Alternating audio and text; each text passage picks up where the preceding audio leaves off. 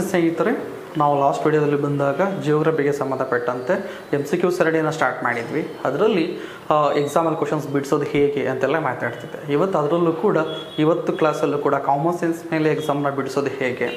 ಮತ್ತು ಅದೇ ರೀತಿಯಲ್ಲಿ ಎಲಿಮಿನೇಟನ್ನು ನಾವು ಯೂಸ್ ಮಾಡ್ತೀವಿ. ಬಿಡೋದು ಹೇಗೆ? ಎಲಿಮಿನೇಟ್ ಮೆಥಡನ್ನು ಬಳಸುವಂಥದ್ದು ಹೇಗೆ ಇದರಲ್ಲಿ? ಜೊತೆಗೆ ಮ್ಯಾಪ್ ವರ್ಕನ್ನು ಕೂಡ ಮಾಡ್ತಾ ಹೋಗ್ತೀವಿ. ಯಾಕಂದರೆ ಇವತ್ತು ತಗೊಂಡಿರೋ ಟಾಪಿಕ್ ಪ್ರಪಂಚದಲ್ಲಿರುವಂಥ ಪ್ರಮುಖವಾದ ಸಮುದ್ರಗಳ ಬಗ್ಗೆ ಮಾತಾಡ್ತಾ ಹೋಗ್ತೀವಿ. ಪ್ರಮುಖವಾದಂಥ ಸೀಸ್ ಬಗ್ಗೆ ಇಂಪಾರ್ಟೆಂಟ್ ಸೀಸ್ ಬಗ್ಗೆ ಮಾತಾಡ್ತಾ ಅದರ ಮೇಲೆ ಕ್ವಶನ್ಸನ್ನು ಫ್ರೈ ಮಾಡ್ತಾ ಹೋಗ್ತೀವಿ. ಇದರಲ್ಲಿ ಬಂದಾಗ ರೆಡ್ ಸಿ ಮೊದಲೇ ತಗೋಣ. ರೆಡ್ ಸಿ ಮೇಲೆ ಕ್ವಶನ್ಸ್ ಬಂದರೆ ಯಾವ ಥರ ಇರುತ್ತೆ ಅಂತ ನೋಡೋದಾದರೆ ಕೆಂಪು ಸಮುದ್ರ. ಸೊ ಕೆಂಪು ಸಮುದ್ರ ಕೆಳಗಿನ ಯಾವ ರಾಷ್ಟ್ರವು, ರಾಷ್ಟ್ರಗಳು ಕೆಂಪು ಸಮುದ್ರದ ಜೊತೆ ಗಡಿಯನ್ನು ಹೊಂದಿದೆ? Which of the following countries borders the red sea ಅಂತ ಕೊಟ್ಟಿದ್ದೀವಿ. ಕೆಳಗಿನ ಯಾವ ರಾಷ್ಟ್ರಗಳು ಕೆಂಪು ಸಮುದ್ರ ಜೊತೆ ರೆಡ್ ಸಿ ಜೊತೆ ಬಾರ್ಡರ್ನ ಶೇರ್ ಮಾಡಿವೆ ಅಂತ ನೋಡೋದಾದರೆ, ನೋಡಿ ಯಾವುದು? ಇರಾನ್, ಈಜಿಪ್ಟ್, ಸಿರಿಯಾ ಹೆಮನ್ ಹೌದಲ್ಲ? ಜೊತೆಗೆ ಉತ್ತರ ಸಂಕೇತಗಳು ಆನ್ಸರ್ ಕೋಡ್ ಅಂತ ಹೇಳಿ ಕೊಟ್ಟಿದ್ದೀವಿ. ಇಲ್ಲಿ ಹೆಲ್ಮಿನೇಟ್ ಮಾಡ್ಬೇಕು ಇವಾಗ ನಾವು. ಸೊ ಯಾವ್ದಾದ್ರು ಒಂದು ಕ್ವಶನ್ಸ್ಗೆ ಆನ್ಸರ್ ಮಾಡಬೇಕು ಅಂತ ಹೇಳಿದಾಗ ಮ್ಯಾಕ್ಸಿಮಮ್ ನೀವೆಲ್ಲ ಸಬ್ಜ ಎಕ್ಸಾಮಲ್ಲೂ ಕೂಡ ರೀಸೆಂಟಾಗಿ ಏನಾಗ್ತದೆ? ನೆಗೆಟಿವ್ ಮಾರ್ಕಿಂಗ್ ಇರೋದ್ರಿಂದ ಗ್ರೂಪ್ ಸಿ ಆಗ್ಬೋದು, ಜೊತೆ ಕೆ ಎಸ್ ಆಗ್ಬೋದು ಪಿ ಎಸ್ ಎ ಆಗ್ಬೋದು ಎಲ್ಲನೂ ಕೂಡ ನಿಮಗೆ ನೆಗೆಟಿವ್ ಮಾರ್ಕಿಂಗ್ ಇರೋದ್ರಿಂದ ನಾವು ಯಾವ್ದಾದ್ರು ಕ್ವಶನ್ಗೆ ಆನ್ಸರ್ ಮಾಡಬೇಕಾದ್ರೆ ಮಿನಿಮಮ್ ಒಂದು ಆಪ್ಷನ್ಸ್ನ ಎಲಿಮಿನೇಟ್ ಮಾಡಾದರೂ ಕೂಡ ನಾವು ರಿಸ್ಕನ್ನು ತೊಗೋಬೇಕಾಗತ್ತೆ ಆನ್ಸರನ್ನು ಮಾಡಬೇಕಾಗತ್ತೆ. ಇದೇ ರೀತಿಯಲ್ಲಿ ಮೊದಲು ಒಂದು ಇರಾನ್ ಅಂತ ಕೊಟ್ಟಿದ್ದೀವಿ. ಇರಾನ್ ಏನು? ಇರಾನ್ ಯಾವ ಕಾಂಟಿನೆಂಟಲ್ ಬರುತ್ತೆ ಅಂತ ಗೊತ್ತಿರೋ ಸಾಕು. ಇರಾನ್ ಬರ್ತಿರೋದು ಏಷ್ಯಾ ಕಾಂಟಿನೆಂಟಲ್ಲಿ ಅದು ಕೂಡ ಪಾಕಿಸ್ತಾನ, ಇರಾನ್, ಇರಾಕ್ ಈ ಭಾಗದಲ್ಲಿ ಬರುತ್ತೆ. ಹಾಗಾಗಿ ಕೆಂಪು ಸಮುದ್ರ ಬರ್ತಿರೋದಲ್ಲಿ ಆಫ್ರಿಕಾದ ಬಾರ್ಡರ್ ಜೊತೆಗೆ ಏಷ್ಯಾ ಮತ್ತು ಆಫ್ರಿಕಾದ ನಡುವೆ ಬರ್ತಾ ಇದೆ. ಇಲ್ಲಿ ಇರಾನ್ ಬರೋದಿಲ್ಲ ಅಂತ ಗೊತ್ತಾಯ್ತು. ಇರಾನ್ ಎಲ್ಲಿ ರೆಡ್ ಕೆಂಪು ಸಮುದ್ರ ಅಥವಾ ರೆಡ್ಸ್ ಜೊತೆಗೆ ಬಾರ್ಡರ್ನ ಶೇರ್ ಮಾಡಿಲ್ಲ. ಮೊದಲನೇದಾಗಿ ಏನು? ಇರಾನ್ ಬರೋದಿಲ್ಲ ಅಂತ ಹೇಳಿದ್ಮೇಲೆ ಆಪ್ಷನ್ ಎ ಕೂಡ ಏನು ಬರೋದಿಲ್ಲ. ಆಪ್ಷನ್ ಎ ಬರೋದಿಲ್ಲ ಆಮೇಲೆ ಸಿ ಎಲ್ ನೋಡಿ ಒನ್ ಟು ತ್ರೀ ಅಂತ ಇದೆ. ಇದು ಕೂಡ ಬರೋದಿಲ್ಲ ಹೆಲ್ಮೆಟ್ ಮಾಡ್ತಾ ಇದ್ದೀನಿ. ಹಾಲ್ ಆಫ್ ದಿ ಬೊಂಬೆನ ಎಲ್ಲವೂ ಅಂತ ಕೊಟ್ಟಿದ್ದೀವಿ. ಇದು ಕೂಡ ಬರೋದಿಲ್ಲ ಡೈರೆಕ್ಟ್ ಆನ್ಸರ್ ಸಿಗ್ತಾ ಇದಿಲ್ಲ ಡೈರೆಕ್ಟ್ ನಮಗೆ ಡೈರೆಕ್ಟ್ ಆನ್ಸರ್ ಸಿಗ್ತಾ ಇದೆ? ಹೌದಲ್ಲ? ಸೊ ಹಾಗಾಗಿ ಆನ್ಸರ್ ಯಾವುದಾಗುತ್ತೆ? ಬಿ ಆನ್ಸರ್ ಅಂದರೆ ಈಜಿಪ್ಟ್ ಮತ್ತು ಹೇಮನ್ ಎರಡೂ ರಾಷ್ಟ್ರಗಳು ಕೂಡ ಯಾರ ಜೊತೆಗೆ ಬೌಂಡ್ರಿ ಶೇರ್ ಮಾಡಿ? ರೆಡ್ ಸಿ ಕೆಂಪು ಸಮುದ್ರ ಜೊತೆಗೆ ಏನು? ಕೆಂಪು ಸಮುದ್ರ ಜೊತೆಗೆ ಬೌಂಡ್ರಿಯನ್ನು ಶೇರ್ ಮಾಡಿವೆ ಇದರಲ್ಲಿ ನಾವು ಅಟ್ಲೀಸ್ಟ್ ಒಂದನ್ನು ಎಲಿಮಿನೇಟ್ ಇಲ್ಲಿ ಡೈರೆಕ್ಟಾಗಿ ಏನಾಗ್ಬಿಡ್ತು? ಹಂಡ್ರೆಡ್ ಪರ್ಸೆಂಟ್ ನಮಗೆ ಡೈರೆಕ್ಟಾಗಿ ಸಿಗ್ಬಿಡ್ತು ಆನ್ಸರ್ ಇದರಲ್ಲಿ. ಕೆಲವೊಂದು ಕಡೆ ಏನಾಗ್ಬಿಡ್ತಾ ಹೋಗುತ್ತೆ? ಎರಡು ಅಥವಾ ಒಂದು ಅಥವಾ ಎರಡನ್ನು ಹೆಲ್ಮೆಟನ್ನು ಮಾಡ್ತಾ ಹೋಗ್ಬೋದು. ಕ್ಲಿಯರ್ ಅಪ್ಪಿತಪ್ಪಿನ ಹಾಲ್ ಆಫ್ ದಿ ಎಬೋ ಅಂತ ಬಂದಾಗ ನನ್ ಆಫ್ ಎಬೋ ಅಂತ ಬಂದಾಗ ಸೊ ಅವೆಲ್ಲನೂ ಕೂಡ ಒಂದು ಕಾಮನ್ ಸೆನ್ಸ್ ಯೂಸ್ ಮಾಡಿ ಮಾಡಬೇಕಾಗತ್ತೆ ನೀವು. ಅದರಲ್ಲಿ ಇದು ಡ, ಈ ಕ್ವಶನ್ಸಲ್ಲಿ ನೋಡಿದಾಗ ಹಂಡ್ರೆಡ್ ಪರ್ಸೆಂಟ್ ಬಂದಿದೆ ನಿಮಗೆ. ಇದರಲ್ಲಿ ಯಾವುದಲ್ಲ? ನೆಕ್ಸ್ಟ್ ಇದರಲ್ಲಿ ಎಕ್ಸ್ಪ್ಲೇಷನ್ ನೋಡ್ತಾ ಹೋಗೋಣ ಇದಕ್ಕೆ. ರೇಟ್ ಸಿ ಕೆಂಪು ಸಮುದ್ರ ಮೊದಲನೇದಾಗಿ ಯಾವ ಕಾಂಟಿನೆಂಟ್ ನಡುವೆ ಬರ್ತಾ ಇದೆ ಅಂತ ನೋಡೋದಾದ್ರೆ, ಈ ಕೆಂಪು ಸಮುದ್ರ ಬರ್ತಿರೋದು ಆಫ್ರಿಕಾ ಮತ್ತು ಏಷ್ಯಾದ ನಡುವೆ ಬರ್ತಾ ಇದೆ. ಅವ್ರು ಎಕ್ಸಾಂಪಲ್ ಕ್ವಶನ್ಸ್ ಕೇಳ್ಬೋದು. ಕೆಂಪು ರೆಡ್ ಸಿ ಯಾವುದನ್ನ ಡಿವೈಡ್ ಮಾಡ್ತಾ ಇದೆ, ಯಾವ ಕಾಂಟಿನೆಂಟನ್ನು ಡಿವೈಡ್ ಮಾಡ್ತಿದೆ ಒಂದು ಕಡೆಗೆ ಏಷ್ಯಾ ಬರ್ತಾ ಇದೆ, ಇನ್ನೊಂದು ಕಡೆಗೆ ಆಫ್ರಿಕಾ ಅಂತ ಹೇಳಿದ್ರೆ, ಅದು ಏಷ್ಯಾ ಮತ್ತು ಆಫ್ರಿಕಾವನ್ನು ಡಿವೈಡ್ ಮಾಡ್ತಿರೋದು ರೆಡ್ ಸಿ ಕೆಂಪು ಸಮುದ್ರ. ಕೆಂಪು ಸಮುದ್ರ ಭಾರತಕ್ಕೂ ಕೂಡ ಇಂಪಾರ್ಟೆಂಟ್ ಆಗುತ್ತೆ. ಯಾಕೆ? ಯಾಕಂದರೆ ನಿಮ್ಮ ಮುಂಬೈಯಿಂದ ಹೊರಟಂತಹ ಸೊ ಮುಂಬೈಯಿಂದ ಹೊರಟಂತಹ, ಯಾವುದೇ ನಿಮಗೆ ಟ್ರೇಡ್ ರೂಟ್ ಬಂದಾಗ ಸಿ ಟ್ರೇಡ್ ರೂಟ್ ಬಂದಾಗ, ನೋಡಿ ಗಾಲ್ಫ್ ಆಫ್ ಅಡನ್ ಮುಂಬೈಯಿಂದ ನೋಡಿ ಹರ್ಬಿಯನ್ಸ್ ಇದ್ಯಾವುದು ಅರೇಬಿಯನ್ ಸಿ ಬರುತ್ತೆ. ಇಂಡಿಯನ್ ಓಷನಲ್ಲಿ Arabian ಸಿಯಿಂದ gulf of Aden gulf of ಅಡನಿಂದ ನಮಗೆ Bab el Mandeb of straits ಬರುತ್ತೆ. ಈ ಬಾಬೆಲ್ ಮ್ಯಾಂಡ್ ಆಫ್ ಸ್ಟ್ರೈಟ್ಸಿಂದ ರೆಡ್ ಸಿಗೆ ಬರ್ತೀವಿ. Red ಸಿಯಿಂದ Suez canal so Suez canal Mediterranean ಸಮುದ್ರಕ್ಕೆ ಹೋಗ್ತೀವಿ. ಮೆಡಿಟೇರಿಯನ್ ಸಮುದ್ರದಿಂದ ನಾವು ಯುರೋಪ್ ರಾಷ್ಟ್ರಗಳ ಜೊತೆಗೆ ಕಮ್ಯುನಿಕೇಷನ್ ಇಟ್ಕೊಂಡಿದ್ದೀವಿ ಅವೆಲ್ಲ ಟ್ರೇಡ್ ರೂಟನ್ನು ಮಾಡ್ಕೊಂಡಿದ್ದೀವಿ. ಹಾಗಾಗಿ ಈ ಕೆಂಪು ಸಮುದ್ರ ಅನ್ನೋದು ತುಂಬ ಇಂಪಾರ್ಟೆಂಟ್ ಆಗುತ್ತೆ. ಇಲ್ಲಿ ಹೇಳಬೇಕಾದ ಗಮನಿಸಬೇಕು Suez canal so Suez canal ಹಾಗೆಯೇ ಯಾವ ಎರಡು ಸಮುದ್ರಗಳನ್ನು ಕನೆಕ್ಟ್ ಮಾಡ್ತಿದೆ. ಸಿಯೋಸ್ ಕ್ಯಾನಲ್ ಕನೆಕ್ಟ್ ಮಾಡ್ತಿರೋದು ಮೆಡಿಟೇರಿಯನ್ ಸಮುದ್ರ ಮತ್ತು ಕೆಂಪು ಸಮುದ್ರ. ಸೊ ಮೆಡಿಟೇರಿಯನ್ ಮತ್ತು ಕೆಂಪು ಸಮುದ್ರವನ್ನು ಕನೆಕ್ಟ್ ಮಾಡುವಂಥ ಕಾಲುವೆ ಯಾವುದು? ಯಾವುದು? ಸುಯೋಜ್ ಕ್ಯಾನಲ್ ಸುಯೋಜ್ ಕಾಲುವೆ. ಅದೇ ರೀತಿಯಲ್ಲಿ ಇಲ್ಲಿ ಬಂದ ಬಾಬೆಲ್ ಮ್ಯಾಂಡಬ್ ಅಂತ ಹೇಳಿದೆ ಇಲ್ಲಿ Bab el Mandeb of straits ಯಾವುದನ್ನ ಕಾಂಟ್ಯಾಕ್ಟ್ ಮಾಡ್ತಿದೆ? Bab el Mandeb of straits ಎರಡನ್ನ ಕನೆಕ್ಟ್ ಮಾಡ್ತಿದೆ. ಒಂದು ರೆಡ್ ಸಿ ಇರೋ gulf Aden so gulf of Aden ಮತ್ತು ಗಾಲ್ಫ್ ಆಫ್ ಅಡನ್ ಮತ್ತು ರೆಡ್ ಸಿಯನ್ನು ಕನೆಕ್ಟ್ ಮಾಡುವಂಥದ್ದು ಯಾವ ನಿಮಗೆ ಯಾವ ಸ್ಟ್ರೈಟ್ಸ್ ಅಥವಾ ಜಲಸಂಧಿ ಅಂತ ಕೇಳ್ತಾನೆ? Bab el Mandeb of straits Bab el Mandeb of straits ಯಾವುದು? ರೆಡ್ ಸಿ ಮತ್ತು ಗಲ್ಫ್ ಆಫ್ ಅಡನ್ನ ಕನೆಕ್ಟ್ ಮಾಡುತ್ತೆ. ಜೊತೆಗೆ ಯಾವ ಕಾಂಟಿನೆಂಟನ್ನು ಡಿವೈಡ್ ಮಾಡುತ್ತೆ? Bab el Mandeb of straits connect ನಿಮಗೆ ಡಿವೈಡನ್ನು ಮಾಡ್ತಾ ಇರೋದು ರೆಡ್ ಸಿ ಮತ್ತು ಸಾರಿ ನೀವು ಡಿವೈಡ್ ಮಾಡ್ತಿರೋದು ಏಷ್ಯಾ ಮತ್ತು ಆಫ್ರಿಕಾ ಕಾಂಟಿನೆಂಟನ್ನು ಡಿವೈಡ್ ಮಾಡ್ತಾ ಇದೆ. ಇಷ್ಟು ಕೂಡ ನಮ್ಗೆ ಇಲ್ಲಿ ಗೊತ್ತಾಗ್ತಾ ಬಂತು. ನಿಮ್ಮ ಜೊತೆಗೆ ಈ ಬೌಂಡ್ರಿನ ಶೇರ್ ಮಾಡಿರೋ ರಾಷ್ಟ್ರಗಳನ್ನು ಇಲ್ಲೇ ನೋಡ್ಬಿಡ್ತಾ ಹೋಗೋಣ ಹೌದಲ್ಲ? ಈ ಬೌಂಡ್ರಿನ ಶೇರ್ ಮಾಡೋ ರಾಷ್ಟ್ರಗಳು ಯಾವುದು ಅಂತ ಹೇಳೋದಾದರೆ, ಯಮನ್, ಏಷ್ಯಾದಲ್ಲಿ, ಸೌದಿ ಅರೇಬಿಯಾ, ಹೌದಲ್ಲ? ಇಲ್ಲಿ ಬಂದಾಗ ಈಜಿಪ್ಟ್, ಎರಿಟ್ರಿಯಾ ಸೊಮಾಲಿಯಾ ರಾಷ್ಟ್ರಗಳ ಜೊತೆಗೆ ಬೌಂಡ್ರಿಯನ್ನು ಇದು ಹೊಂದಿರೋದನ್ನು ಇಲ್ಲಿ ನೋಡ್ತಾ ಹೋಗ್ತೀವಿ. ಇದು ರೇಟ್ ಸಿ ಹೌದಲ್ಲ ನೆಕ್ಸ್ಟ್ ಬಂದರೆ, ಇಲ್ಲಿ ರೆಡ್ ಸಿ ಜೊತೆಗೆ ಬೇರೆ ಕಲರಿಂದ ಯಾವ್ದಾದ್ರು ಸಮುದ್ರ ಸಮುದ್ರಗಳಿದೆಯಾ ಅಂತ ನೋಡೋದಾದ್ರೆ, ಹೌದಲ್ಲ ಯಾವ್ಯಾವುದು ರೆಡ್ ಸಿ ಅಂತ ತಿಳ್ಕೊಂಡಿವಿ ಆಲ್ರೆಡಿ ಈ ರೆಡ್ ಸಿ ಜೊತೆಗೆ ಇವಾಗ ಬ್ಲ್ಯಾಕ್ ಸಿ ನೋಡೋಣ. ಸೊ ಬ್ಲ್ಯಾಕ್ ಸಿ ಮೇಲೆ ಕ್ವಶನ್ಸ್ ಇರುತ್ತೆ. ಬ್ಲ್ಯಾಕ್ ಸಿ ಆಗಿದ್ರೆ ಯಾವ ಕಾಂಟಿನೆಂಟ್ ನಡುವೆ ಬರ್ತಾ ಇದೆ? ಯಾವ ಖಂಡಗಳನ್ನು ಡಿವೈಡ್ ಮಾಡ್ತಿದೆ? ಬ್ಲ್ಯಾಕ್ ಸಿ ಏಷ್ಯಾ ಮತ್ತು ಯುರೋಪ್ ಕಾಂಟಿನೆಂಟ್ನ ನಡುವೆ ಬರ್ತದೆ. ಏಷ್ಯಾ ಮತ್ತು ಯುರೋಪ್ ರಾಷ್ಟ್ರಗಳ ನಡುವೆ ಯಾವುದು ಬ್ಲ್ಯಾಕ್ ಸಿ ಬರ್ತಾ ಇದೆ. ಹೌದಲ್ಲ? ಇಲ್ಲಿ ಬರುವಂಥ ಟರ್ಕಿ ಆಗ್ಬೋದು ಜಾರ್ಜಿಯಾ ಆಗ್ಬೋದು ರಷ್ಯಾ ಆಗ್ಬೋದು, ಇವೆಲ್ಲನೂ ಕೂಡ ಕಪ್ಪು ಸಮುದ್ರ ಜೊತೆಗೆ ಬೌಂಡ್ರಿನ ಹೊಂದಿರುವಂತಹ ರಾಷ್ಟ್ರಗಳು. ಇದ್ರ ಜೊತೆಗೆ ಇಲ್ಲಿ ಬಂದಾಗ ವೈಟ್ ಸಿ ನೋಡಿ ವೈಟ್ ಸಿ ಎಲ್ಲಿ ಬರ್ತಾ ಇದೆ? ಸೊ ವೈಟ್ ಸಿ ಬರ್ತಿರೋದು ಯಾವುದು? ರಷ್ಯಾದ ನಾರ್ತ್ ಸೈಡಲ್ಲಿ ನಾರ್ತ್ ಸೈಡ್ ಆಫ್ ರಷ್ಯಾ ರಷ್ಯಾದ ಉತ್ತರ ಭಾಗದಲ್ಲಿ ಅಥವಾ ಫಿನ್ಲ್ಯಾಂಡಿನ ಪೂರ್ವ ಭಾಗದಲ್ಲಿ. ಈಸ್ಟ್ ಸೈಡ್ ಆಫ್ ಫಿನ್ಲ್ಯಾಂಡ್ ಹೌದಲ್ಲ ಈ ಭಾಗದಲ್ಲಿ ಯಾವ್ದು ಬರುತ್ತೆ? ವೈಟ್ ಸಿ ಬರ್ತಾ ಇದೆ. ಸೊ ವೈಟ್ ಸಿ ಯಾವ ರಾಷ್ಟ್ರದಿಂದ ಕವರ್ ಆಗಿದೆ ಇಲ್ಲಿ? ರಷ್ಯಾ ರಾಷ್ಟ್ರದಿಂದ ಕವರ್ ಆಗಿರೋದನ್ನ ನೋಡ್ತೀವಿ. ಇನ್ನು ಯೆಲ್ಲೋ ಸಿ ಯೆಲ್ಲೋ ಸಿ, ಹಳದಿ ಸಮುದ್ರ. ಹಳದಿ ಸಮುದ್ರದಲ್ಲಿ ಬರ್ತಾ ಇದೆ ನೋಡಿ. ಈ ಹಳದಿ ಸಮುದ್ರ ಚೀನಾ ರಾಷ್ಟ್ರ ಜೊತೆ ಬೌಂಡ್ರಿನ ಹೊಂದಿದೆ. ಮತ್ತು ಯಾವುದು? ನಿಮಗೆ ಚೀನಾ ರಾಷ್ಟ್ರ ಜೊತೆಗೆ ಉತ್ತರ ಕೊರಿಯಾ ಮತ್ತು ದಕ್ಷಿಣ ಕೊರಿಯಾ. ಹೌದಲ್ಲ? North Korea and south Korea ಜೊತೆಗೆ ಬೌಂಡ್ರಿ ಶೇರ್ ಮಾಡಿದೆ. ಜೊತೆಗೆ ಚೀನಾ ರಾಷ್ಟ್ರ ಜೊತೆನೂ ಕೂಡ ಬೌಂಡ್ರಿ ಶೇರ್ ಮಾಡಿದೆ. ಯಾವುದು? Yellow sea yellow sea white sea black sea red sea ಇಷ್ಟನ್ನು ಕೂಡ ಇಲ್ಲಿ ತಿಳ್ಕೊಡ್ತಾ ಬಂದ್ರಿ ನೆಕ್ಸ್ಟ್ ನೋಡೋದಾದರೆ ಇಲ್ಲಿ ಹಾಗಿದ್ರೆ ಈ ಸಂಪರ್ಕಕ್ಕೆ ಬರುವಂಥದ್ದು ಯಾವುದು ಅಂತ ನೋಡಿದ್ವಿ ಬ್ಯಾಬಲ್ ಮ್ಯಾಂಡಪ್ ಸ್ಟ್ರೈಟ್ಸ್ ಬರ್ತಾ ಇದೆ ಅಂತ ಕೂಡ ಹೇಳಿದೆ. ಹೌದಲ್ಲ? ನೆಕ್ಸ್ಟ್ ಇಲ್ಲಿ ನೋಡೋದಾದ್ರೆ ಈ ಕೆಂಪು ಸಮುದ್ರದಲ್ಲಿ ಏನಾಗಿರುತ್ತೆ? ಕೆಂಪು ಸಮುದ್ರದಲ್ಲಿ ಲವಣಾಂಶಗಳು ಹೆಚ್ಚಿರ್ತಾ ಹೋಗುತ್ತೆ. ಕೆಂಪು ಸಮುದ್ರದಲ್ಲಿ ಅದು ಸಲಿನಿಟಿ ಕಂಟೆಂಟ್ ಜಾಸ್ತಿ ಇರುತ್ತೆ ಸಲಿನ್ ಕಂಟೆಂಟ್ ಜಾಸ್ತಿ ಇರ್ತಾ ಹೋಗುತ್ತೆ. ಯಾಕಂತ ಹೇಳಿದ್ರೆ ಇಲ್ಲಿ ಪ್ರಮುಖವಾಗಿ ಇಂಡಿಯನ್ ಓಷನ್ ಕೂಡ ಕೂಡ ಅಲ್ಲಿ ಕನೆಕ್ಟ್ ಆಗಿಲ್ಲ ಕರೆಕ್ಟಾಗಿ ಇಲ್ಲ, ನಿಮಗೆ ಮೇಟಿನ ಸಿ ಜೊತೆ ಕೂಡ ಕನೆಕ್ಟ್ ಆಗಿಲ್ಲ. ಜೊತೆಗೆ ಅಲ್ಲಿ ಬರ್ತಾ ಇರೋದು ಅದೊಂದು ದೊಡ್ಡದೊಂದು ರಿಫ್ಟ್ ವ್ಯಾಲಿ ಅಂತ ರಿಫ್ಟ್ ವ್ಯಾಲಿ ರೀತಿಯಲ್ಲಿ ಇರೋ- ಇರೋದ್ರಿಂದ ಭಾಗದಲ್ಲಿ ಒಂದು ಕಣಿವೆ, ಒಂದು ಕ- ಕ- ಕಣಿವೆ, ಶೀಳು ಕಣಿವೆ ಆಕೃತಿಯಲ್ಲಿ ಇರೋದ್ರಿಂದ ಆ ಭಾಗದಲ್ಲಿ ಎಲ್ಲೂ ಕೂಡ ನೀರು ಹೊರಗಡೆಯಿಂದ ಹೋಗೋದು ಬರೋದು ಆಗೋದಿಲ್ಲ. ಹಾಗಾಗಿ ಲವಣಾಂಶ ಜಾಸ್ತಿ ಇರುತ್ತೆ. ಹೌರೇಸ್ಗಿಂತ ಸೊ ಸರ ಪ್ರಪಂಚದಲ್ಲಿ ಬರುವಂಥ ಸರಾಸರಿ ಲವಣಾಂಶಕ್ಕಿಂತನೂ ಕೂಡ ವರ್ಲ್ಡ್ ಹವರೇಜನ್ನು ಕೂಡ ರೆಡ್ ಸೇರಿ ಲವಣಾಂಶ ಅಥವಾ ಸಲೈನ್ ಕಂಟೆನಿಟಿ ಏನಾಗಿರುತ್ತೆ? ಜಾಸ್ತಿ ಇರ್ತಾ ಹೋಗುತ್ತೆ ಸ್ನೇಹಿತರೆ. ಇನ್ನು ಯಾವ ರಾಷ್ಟ್ರಗಳು ಅಂತ ನೋಡ್ತಾ ಹೋಗೋಣ. ಈಸ್ಟ್ ಭಾಗದಲ್ಲಿ ಯಾವುದೇ ಬೌಂಡ್ರಿ ಶೇರ್ ಮಾಡಿಕೊಂಡಿದೆ? ಸೌದಿ ಅರೇಬಿಯಾ ಮತ್ತು ಯಮನ್ ರಾಷ್ಟ್ರಗಳು. ಮತ್ತು ವೆಸ್ಟರ್ನ್ ಸೈಡಲ್ಲಿ ಅಥವಾ ಪಶ್ಚಿಮ ಭಾಗದಲ್ಲಿ ಯಾವುದರಲ್ಲಿ?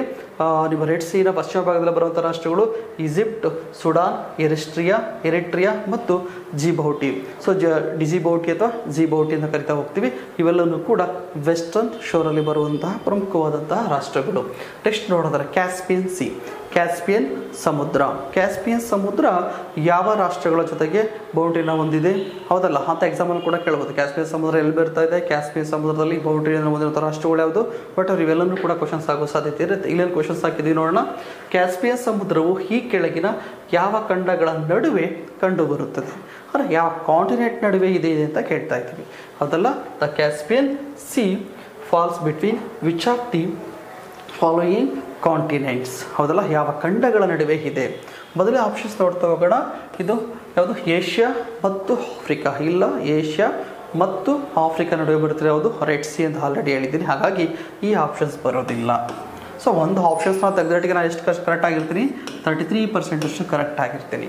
ಇನ್ನೊಂದು, ಏಷ್ಯಾ ಮತ್ತು ಯುರೋಪ್. ಹೌದಲ್ಲ? ಇದು ಬರೋ ಸಾಧ್ಯತೆ ಇದೆ. ಹೌದು. ಏಷ್ಯಾ ಮತ್ತು ಯುರೋಪ್ ರಾಷ್ಟ್ರಗಳ ಜೊತೆಗೆ ಬೌಂಡ್ರಿಯನ್ನು ಇದು ಶೇರ್ ಮಾಡಿದೆ. ಸೊ ಯುರೋಪಿಯನ್ ಕಾಂಟಿನೆಂಟ್ ಮತ್ತು ಏಷ್ಯಾ ಕಾಂಟಿನೆಂಟ್ ನಡುವೆ ಬರ್ತಿರೋದು ಅದು ಕ್ಯಾಸ್ಪಿಯನ್ ಸಿ ಕ್ಯಾಸ್ಪಿಯನ್ ಸಮುದ್ರ ಬರ್ತಾ ಇದೆ. ಯುರೋಪ್ ಮತ್ತು ಆಫ್ರಿಕಾ ಯಾವುದು ಮೆಡಿಟೇರಿಯನ್ ಬರ್ತಾ ಇದೆ. ನಾರ್ತ್, ಉತ್ತರ ಅಮೆರಿಕ ಮತ್ತು ದಕ್ಷಿಣ ಅಮೆರಿಕ ಇಲ್ಲಿ ಯಾವುದು ಕೂಡ ಬರೋದಿಲ್ಲ. ಹೌದಲ್ಲ? ಇದನ್ನು ನೋಡಿದ್ರೆ ಡೈರೆಕ್ಟಾಗಿ ಆನ್ಸರ್ ಮಾಡ್ತಿದ್ದೀವಿ. ಏಷ್ಯಾ ಮತ್ತು ಯುರೋಪ್ ರಾಷ್ಟ್ರಗಳ ನಡುವೆ ಯಾವ್ದು ಬರ್ತಾ ಇದೆ? ನಿಮ್ಮ ಕ್ಯಾಸ್ಪಿಯನ್ ಸಮುದ್ರ ಬರ್ತಾ ಇದೆ. ಇಲ್ಲಿ ಕ್ಯಾಸ್ಪಿಯನ್ ಸಮುದ್ರ ಮೊದಲನೇದಾಗಿ ಯಾವ ಯಾವ ರಾಷ್ಟ್ರಗಳ ಜೊತೆಗೆ ಬೌಂಡ್ರಿನ ಶೇರ್ ಮಾಡಿದೆ ಅಂತ ನೋಡೋದಾದರೆ. ಸೊ ಇಲ್ಲಿ ಕ್ಯಾಸ್ಪಿಯನ್ ಸಮುದ್ರ ಬೌಂಡ್ರಿನ ಶೇರ್ ಮಾಡಿರುವಂಥದ್ದು ಯಾವ ರಾಷ್ಟ್ರಗಳ ಜೊತೆ ನೋಡಿ? ಕಜಕಿಸ್ತಾನ್. ಯಾವ್ದು ಬರ್ತಾ ಇದೆ ಒಂದು ಕಡೆಗೆ? ಕಜಕಿಸ್ತಾನ್. ಕಜಕಿಸ್ತಾನದ ಜೊತೆಗೆ ಬೌಂಡ್ರಿನ ಶೇರ್ ಮಾಡ್ತಿದೆ. ಕಜಕಿಸ್ತಾನ್ ಕಜಕಿಸ್ತಾನ್ ಜೊತೆ ಬೌಂಡ್ರಿ ಶೇರ್ ಮಾಡ್ತಿದೆ. ಜೊತೆಗೆ ಇಲ್ಲಿ ಬಂದಾಗ ಯಾವುದು? Russia, Kazakhstan. ರಷ್ಯಾದ ಜೊತೆಗೆ ಬೌಂಡ್ರಿ ಶೇರ್ ಮಾಡ್ತಿದೆ. ಇನ್ನೊಂದು ಅಜರ್ಬೈಜಾನ್. ಅಜರ್ಬೈಜಾನ್ ಜೊತೆಗೆ ಬೌಂಡ್ರಿನ ಶೇರ್ ಮಾಡ್ತಿದೆ. ಮತ್ತು ಇರಾನ್ ಜೊತೆಗೂ ಕೂಡ ಬೌಂಡ್ರಿನ ಶೇರ್ ಮಾಡ್ತಾ ಇದೆ. ಇನ್ನೊಂದು ತುರ್ಕ್ಮೆನಿಸ್ತಾನ್. ನೋಡಿ, ತುರ್ಕ್ಮೆನಿಸ್ತಾನ್, ಕಜಕಿಸ್ತಾನ್, ರಷ್ಯಾ, ಹೌದಲ್ಲ? ಅಜರ್ಬೈಜಾನ್, ಇರಾನ್ ರಾಷ್ಟ್ರಗಳ ಜೊತೆಗೆ ಬೌಂಡ್ರಿಯನ್ನು ಶೇರ್ ಮಾಡ್ತಾ ಇದೆ. ಹೌದಲ್ಲ? ಇರಾನ್ ರಾಷ್ಟ್ರಗಳ ಜೊತೆಗೆ ಬೌಂಡ್ರಿಯನ್ನು ಶೇರ್ ಮಾಡ್ತಾ ಇದೆ. ಯಾವುದು? ಕ್ಯಾಸ್ಪಿಯನ್ ಸಮುದ್ರ ಕ್ಯಾಸ್ಪಿಯನ್ ಸಿ ಹೌದಲ್ಲ? ಹಾಗೆಯೇ ಇದೊಂದು ಏನು? ವರ್ಲ್ಡ್ ಲಾರ್ಜೆಸ್ಟ್ ಲೇಕ್ ಅಂತ ಬಂದಾಗ, ಪ್ರಪಂಚದ ಅತಿ ದೊಡ್ಡ ಸರೋವರ ಅಂತ ಬಂದಾಗ ಯಾವ್ದು ಬರುತ್ತೆ? ಕ್ಯಾಸ್ಪಿಯನ್ ಸಮುದ್ರ. ಕ್ಯಾಸ್ಪಿಯನ್ ಸಮುದ್ರ ಪ್ರಪಂಚದ ಅತಿ ದೊಡ್ಡದಾದಂತಹ ಸರೋವರ ಆಗಿರುತ್ತೆ. ಬಾರ್ಡರ್ ಸ್ಟೇಟ್ಗಳು ನೋಡೋದಾದರೆ ಕಂಟ್ರೀಸ್ ನೋಡೋದಾದರೆ Azerbaijan Iran Kazakhstan Russia Turkmenistan ಇವೆಲ್ಲನೂ ಕೂಡ ಬೌಂಟಿಯನ್ನು ಶೇರ್ ಮಾಡಿರುವಂತಹ ಯಾವುದು? ರಾಷ್ಟ್ರಗಳು.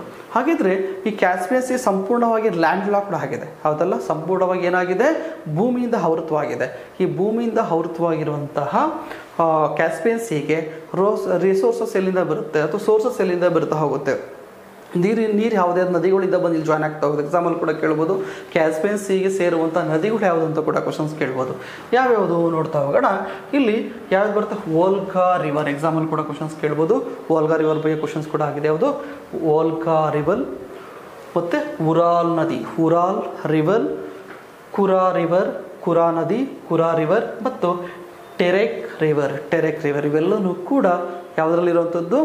ನಿಮ್ಮ ಕ್ಯಾಸ್ಪಿಯನ್ ಸಮುದ್ರಕ್ಕೆ ಬಂದು ಸೇರುವಂತಹ, ಸಮುದ್ರಕ್ಕೆ ಬಂದು ಸೇರುವಂತಹ ನದಿಗಳು. ಹಾಗೆಯೇ ಈ ಕ್ಯಾಸ್ಪಿಯನ್ ಸಮುದ್ರದಿಂದ ಏನಾದರೂ ನೀರು ಬೇರೆ ಕಡೆಗೆ ಫ್ಲೋ ಆಗುತ್ತಾ? ಹೌದು, ಯಾವುದಕ್ಕೆ? ಗರಾಬೋಗಸ್ ಗೋಲ್ ಅಂತ ಬರುತ್ತೆ. ಈ ಗರಾಬೋಗಸ್ ಲೇಕ್ ಬರುತ್ತೆ. ಗರಾಬೋಗಸ್ ಗೋಲ್ ಲೇಕ್ ಅಂತ ಬರುತ್ತೆ. ಗರಾಬೋಗಸ್ ಲೇಕಿಗೆ ಕ್ಯಾಸ್ಪಿಯನ್ ಸಮುದ್ರದಿಂದ ನೀರು ಫ್ಲೋ ಆಗುತ್ತೆ. ಜಸ್ಟ್ ನೀವು ಅದನ್ನು ನೋಡಬೇಕಂದ್ರೂ ಕೂಡ ಈ ಲಾಸ್ಟ್ ಮ್ಯಾಪಲ್ಲಿ ತೋರಿಸ್ತಾ ಇದೆ.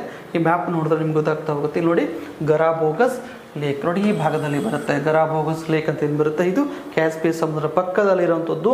ತುರ್ಕ್ಮೆನಿಸ್ತಾನದಲ್ಲಿದೆ ಸಂಪೂರ್ಣವಾಗಿ ಯಾವ ರಾಷ್ಟ್ರದಲ್ಲಿದೆ ಇದು ಗರಾಬೋಗಸ್ ಲೇಕ್ ಅನ್ನೋದು ಗರಾಬೋಗಸ್ ಲೇಕ್ ಇರೋದು ತುರ್ಕ್ಮೆನಿಸ್ತಾನದಲ್ಲಿ ತುರ್ಕ್ಮೆನಿಸ್ತಾನದಲ್ಲಿ ಇದನ್ನು ನಾವು ನೋಡ್ತಾ ಹೋಗ್ತೀವಿ. ಹೌದಲ್ಲ? ನೆಕ್ಸ್ಟ್ ನೋಡೋದಾದ್ರೆ ಕ್ಯಾಸ್ಪಿಯನ್ ಸಿ. ಆಯ್ತು. ಕ್ಯಾಸ್ಪಿಯನ್ ಸಿ ಬಗ್ಗೆ ಬಹುತೇಕ ಇಷ್ಟು ಕ್ವಶನ್ಸ್ ಕೇಳಬಹುದು ನೆಕ್ಸ್ಟ್ ಬ್ಲ್ಯಾಕ್ ಸಿ. ಕಪ್ಪು ಸಮುದ್ರ. ಇಲ್ಲಿ ಕ್ವಶನ್ಸ್ ನೋಡ್ತಾ ಹೋಗೋಣ. ಕಪ್ಪು ಸಮುದ್ರ ಕೆಳಗಿನ ಯಾವ ರಾಷ್ಟ್ರದ ಜೊತೆ ಗಡಿಯನ್ನು ಹೊಂದಿಲ್ಲ? ಮೊದಲನೇದಾಗಿ ಗಂಡಿ ಹೊಂದಿದೆ ಅಂತ ಕೇಳಿದ್ವಿ. ಎರಡನೇ ಕ್ವಶನ್ ಬಂದಾಗ ಯಾವ ಕಾಂಟಿನೆಂಟ್ ನಡುವೆ ಅಂತ ಕೇಳಿದ್ವಿ. ಇಲ್ಲಿ ಬಂದಾಗ ಗಡಿಯನ್ನು ಹೊಂದಿಲ್ಲ. ಇದನ್ನ ನೋಡಬೇಕು, ಗಡಿಯನ್ನು ಹೊಂದಿಲ್ಲ. ಬೌಂಡ್ರಿ ಯಾವುದ್ರ ಜೊತೆಗೆ ಶೇರ್ ಮಾಡಿಲ್ಲ ಅಂತ ಕೇಳ್ತಾ ಇದ್ದೀವಿ. ಆದರೆ ಯಾವ್ದ್ರ ಜೊತೆಗೆ ಇದು? ಬೌಂಡ್ರಿಯನ್ನು ಶೇರ್ ಮಾಡಿಲ್ಲ. ಮೊದಲೇ ನೋಡ್ತಾ ಹೋಗೋಣ.